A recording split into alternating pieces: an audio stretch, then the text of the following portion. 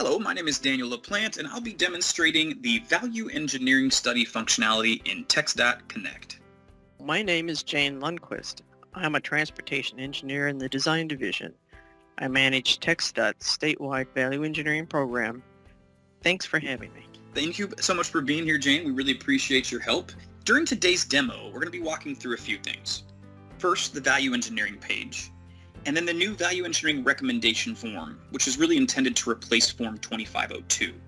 So with that said, Jane, what I'd like to do is start our demo first here in our example project, which we already have open. Now we're here on our value engineering page. You see it's broken up into multiple sections.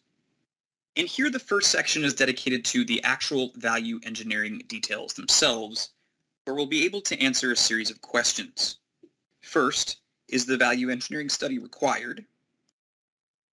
Has a value engineering study been conducted? We also see here that there's some basic TxDOT Connect calendar functionality that allows us to enter the study and start dates. I know that typically those studies tend to be between about four or five days, so we'll make that work here accordingly. And then at a later point, we'll be able to answer here whether the approved value engineering recommendation will be included in the final plans. The next sections we see here are dedicated to the value engineering associations and environmental associations. The environmental associations are actually going to be carried directly over automatically from ECOS. Above, we see the value engineering associations section. And that's where we're going to be able to indicate all of the other projects that are included with this, this particular project on the value engineering study. When we create these associations, what we have to keep in mind is that we are doing that from the main project. That is designating this particular CSJ as the main project. We go to the upper right-hand corner of the table and we click Add Value Engineering Project. What you see here is a line appears, and then what we're going to do is enter the actual CSJ of the project we want to associate by clicking here in the field. Once you've entered the actual CSJ into the field, you can click off and you see that TxDOT Connect will automatically populate with the remaining information about that project, the ID, the district, and the highway. If you want to remove that project from the table, you can by simply clicking Remove. Now, Jane, since we filled out this page, can you tell me how you think this page is going to be able to provide some benefit to users in the future? This provides a table of all of the, the projects, all the CSJs that were evaluated in one VE study this helps with transparency. We have federal partners who want to know if a value engineering study was done on a project. This will be a good place to find the information that we need for a project in the future. Exactly, and that's part of the purpose of this page, right? This information included here, this is actually going to carry over onto the value engineering study form. Well, first, we want to make sure that any information that we've entered is saved in TxDOT Connect. So we click Save Project. And once successfully updated, we're going to use our left navigation menu to scroll down to the Workflow, Forms, and Documents page.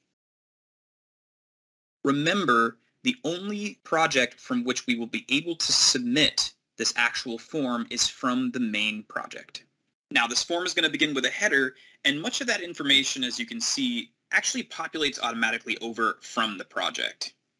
But we're still going to need to enter the certified value specialist firm and the facilitator's name. Something else that you're going to see is those value engineering associations that we made on that value engineering page will also automatically carry over and display project IDs and CSJs. Now, if we look at the value engineering recommendations section, after the study is performed, that's where the recommendations are going to be documented. And what you'll see here is it actually contains two tabs in the table, one for approval one and the other for approval two. So let's talk about the functionality here for approval one. First, the consultant enters the recommendation costs. And under the next field, they'll enter the actual descriptions of the recommendations. Now at this point, the consultant's work is done. They'll have the ability to both save and ultimately submit that form. So once that form is actually submitted, who does it go to? Let's take a look at the workflow. First, we see here that the professional engineer consultant, like we said, will fill out the cost and the description of the recommendations. Then it goes on. That's going to go first to the district design engineer. Their security role is known as the Design Manager District in TxDOT Connect. And they're going to indicate in their review whether they recommend it moves forward, yes or no. If they approve it moving forward, it will then go to the TP&D director to review it, and if they approve, that will move on to the district engineer. Now that would complete the first approval. But as we see, there's actually a second tab dedicated to approval 2. Now, this is not actually going to occur or come into play until each individual project is ready to let. We see that that first round of approvals for recommendations is already visible in the first few columns. And then we see here the recommendations included in the final plans column, which will only even be enabled once that first approval has been submitted and processed. At that point, the Design Manager District, or District Design Engineer, can add projects by clicking the plus or add projects link and then indicate whether each recommendation has been included in their final plans, again by selecting yes, the drop-down, and then submitting that form to the TP&D director and district engineer for further review and approval. The big difference here between approval 2 and approval 1 in terms of process is the reviews consider whether a recommendation should be included in the final plans on the basis of each individual project we see listed. So Jane, I put a lot out there right now. We've seen both pages and the process for both approvals how does this recommendation form make your life easier? Well, it certainly helps me locate the information and with the possibility or with the process of notifying district personnel that the form is ready to be signed, it can begin the process with the first approval. It is also a, a, way for multiple groups of projects letting out of a VE study to be processed appropriately. They don't have to hunt down an old paper copy of a, the Form 2502, which may have been lost someplace, and they have to start all over again. So it provides everything right up front. There's transparency. When we have new employees coming in, they're able to see the, uh, how the process works and I feel that it's going to be a much better way of doing business. Absolutely. I, I think it's really designed to save time and improve workflow. So I, I hope that's the result it has for you.